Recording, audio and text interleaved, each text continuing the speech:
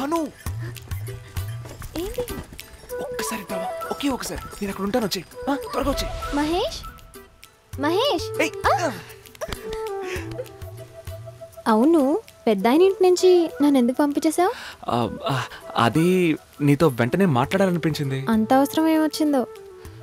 అవును ఒక రోజుకి ఎన్ని గంటలు నిద్రపోతున్నావు? ఎనిమిది గంటలు. వంట చేసేది? అరగంట. నన్ను ఎంతసేపు కలుస్తున్నావు? రెండు నిమిషాలు. ఇదేమైనా న్యాయంగా ఉందా?